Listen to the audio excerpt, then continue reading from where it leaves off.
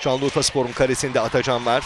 Hamit ve Kaan sağda ve solda bekle oynayacaklar. Bu arada karşılaşma başlıyor. Metin Akan orta şansı arıyor top alametinde. Şimdi, şimdi evet geriye doğru. Çekti topu ondan sonra vuruşu istediği gibi yapamıyor Mbilla. Bu arada Gökhan Güleç topla buluştu. Gökhan Güleç hemen Tistel'e kazandırıyor. Tistel geriye doğru. Son anda Zülküf. Talha geldi. Kale alanına doğru gönderiyor. Atacan çıkıyor topu kontrol ediyor.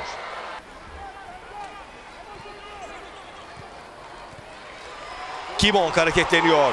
Kibong. Kibong. Vuruşunu yapıyor ve Atacan topu kontrol ediyor.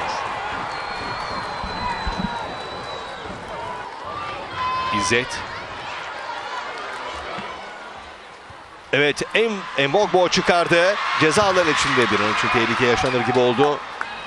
Hemen kapanıyor Şanlıurfa Spor savunması. Bu pozisyondan sonuç alınmadı ama Metin Akan bu kadar uygun pozisyonda topu out'a gönderiyor. Cem Özdemir oyuna girdikten sonra bir renk getirdi. İşte Cem, Cem Özdemir. Cem Özdemir'in vuruşu ve çok az farklı out'a gidiyor top.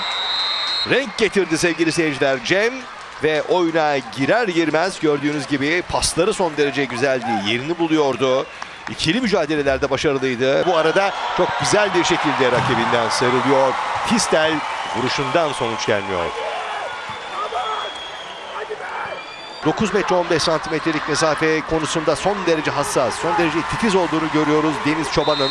Cem Özdemir geldi, geldi, vuruşunu yapıyor. Savunmadan döndü, baraja çarpıyor top ve daha sonra kornere mi gidiyor? Bakıyorum Deniz Çoban yardımcısına baktı. Yardımcısı da evet köşe vuruşunu gösteriyor. Evet Rahman kullanacak köşe vuruşunu. Rahman kale alanına doğru ve işte kademe anlayışı son derece etkili ve görevini yerine getiriyor Şanlıurfa Spor savunması. Cem, Cem, Cem'in vuruşu out. Dediğim gibi karşılaşmanın bitmesine çok kısa bir süre kaldı. Her an bitirebilir karşılaşmayı Deniz Çoban.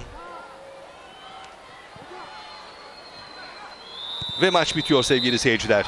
Evet Adana 5 Ocak Stadyumunda oynanan PTT 1. Lig mücadelesinde Adana Spor'la Şanlıurfa Spor arasındaki mücadele golsüz eşitlikle tamamlanıyor.